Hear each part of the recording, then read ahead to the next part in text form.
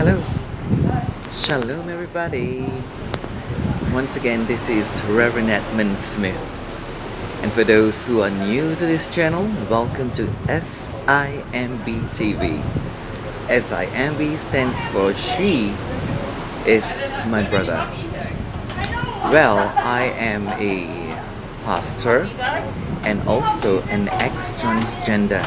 And right now I am actually on a ferry in New Zealand traveling to Christchurch. We are we are in a camper van. A camper van is something like a caravan. Um, and we have parked our camper van on a big gigantic ferry and we are heading to Christchurch and doing Christchurch is something that has been in my bucket list so another checklist in my bucket list. Why so? Because I studied in Christchurch Educational College which is uh, the place where I did my studies in special education. And for those who don't know I'm actually I was a special educational teacher before I became a pastor. That was in the 90s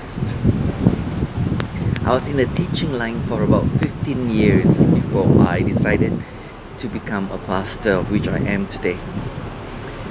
Um, just let me show you around a little bit before I continue with this video. Yeah.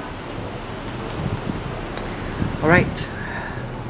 I don't I don't think I look amazing now because I had very little sleep um, waking up early in the morning Whew, I took a nap and just woke up so um, pardon me for the sleepy face.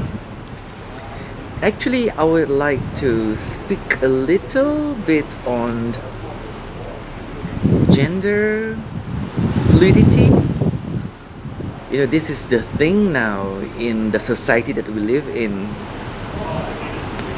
It is said that gender sex gender and sex are no longer binary. And for those of you who are wondering what's binary, binary means two, male and female. I mean, as long as um, we lived in the, as long as we lived in this um, life, I always knew that sex and gender are binary. Okay, let's let me first differentiate the difference between sex and gender.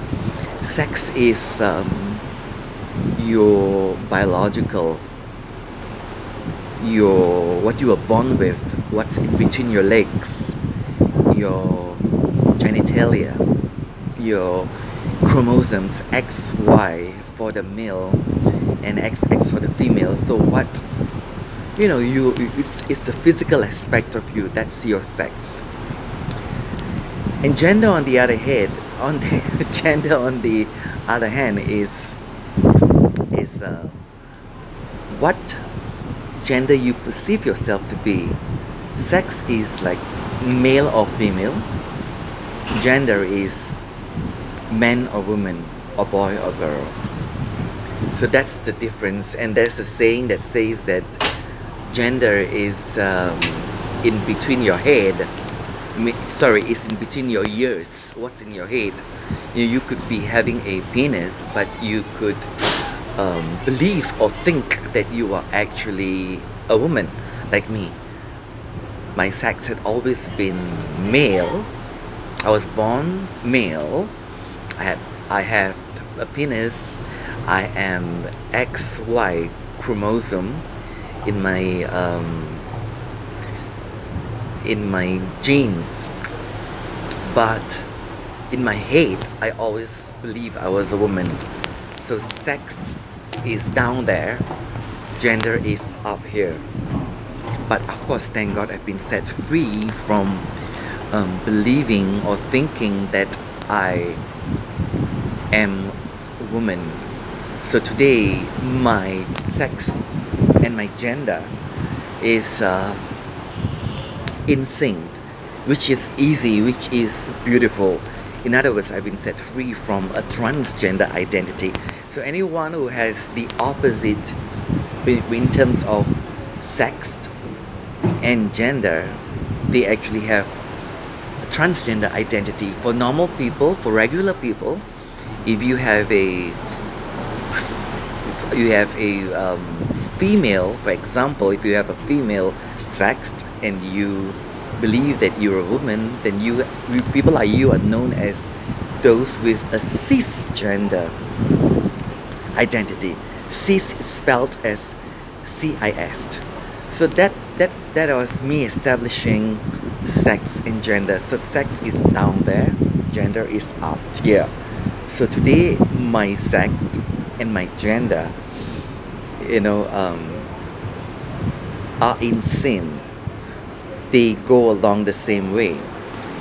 So I've believed, and many people believe that um, sex and gender are binary, but nevertheless there are a whole bunch of people and the numbers are increasing and they don't believe that sex and gender are binary and particularly gender they say that people can be men women or anything in between some claim there are about hundreds hundred or even more than hundred sorts of gender so well, people like me find it difficult to comprehend such an idea.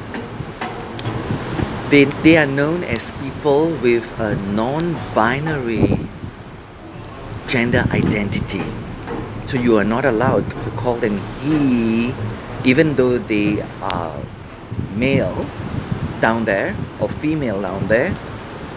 But to them, to these non-binary gender people, it's an offense to call them he or she. We are supposed to call them they or them or z or something else. And as the days go by, more and more types of gender is being um, declared by people, so it's getting confusing. So anyway, that's not even what this video is all about. This video is about it's a response to the the most recent video I made sorry no it was the last last video I made and um, in that video I spoke about um, how important it is for every one of us to have male and female love how important it is for us to have to receive male from men and women I brought up Ecclesiastes 4.12 where the word of God says, you know, it's not good for us to be alone. It's better for us to have at least one other person in our lives, which is two is better than one. And it all it continues with three cords cannot be broken. In other words, three is the best. And I shared that in that video I have a three cord three cords relationship, which is the three cords are me and my wife and my DPR, deep platonic relationship slash brother slash god brother. So three of us bind together makes a three cords relationship.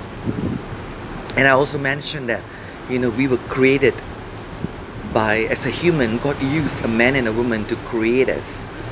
No two men can create a child or no two women can create a child. I mean yes two men can raise up a child, two women can raise up a child, but to create, that shows, that tells us a lot, you know, that tells us God's desire.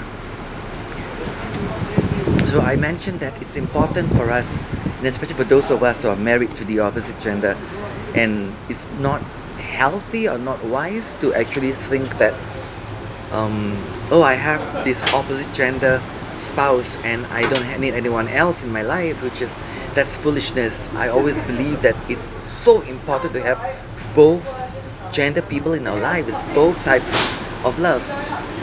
Yeah, gender has love. There's feminine love and masculine love.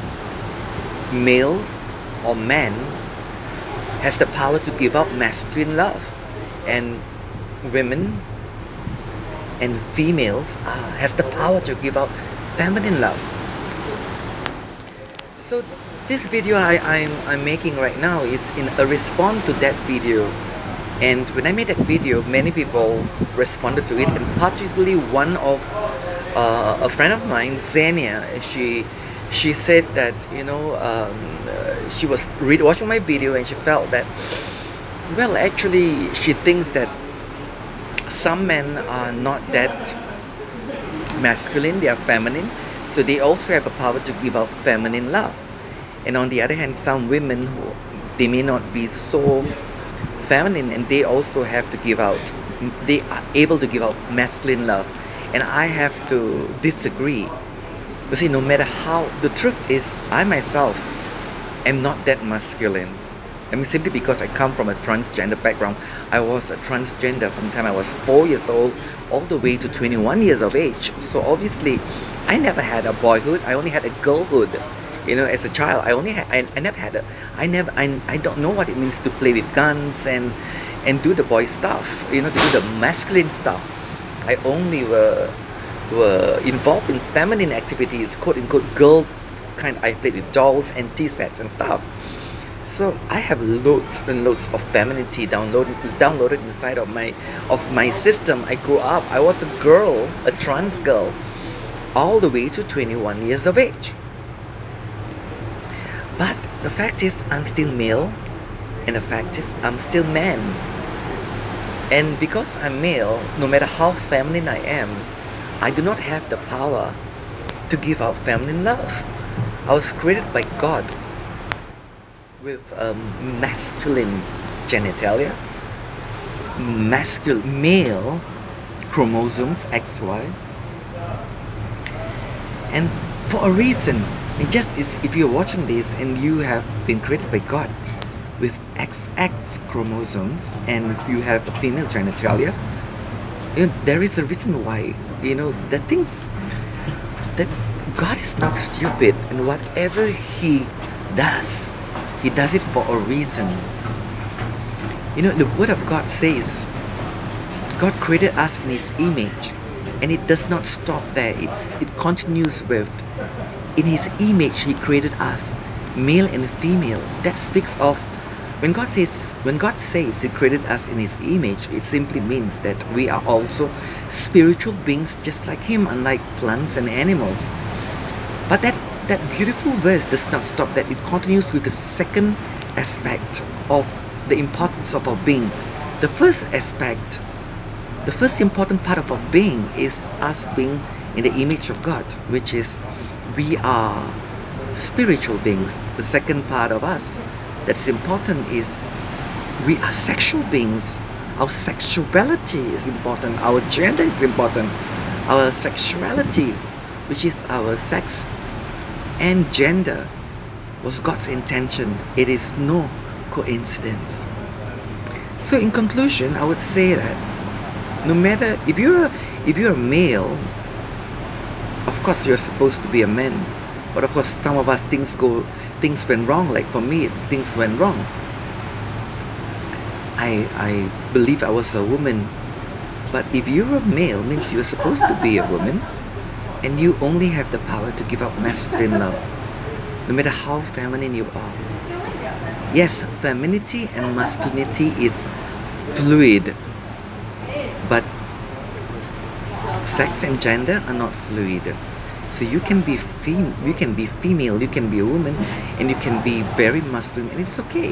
It's okay to be a woman, a female, and to be very masculine.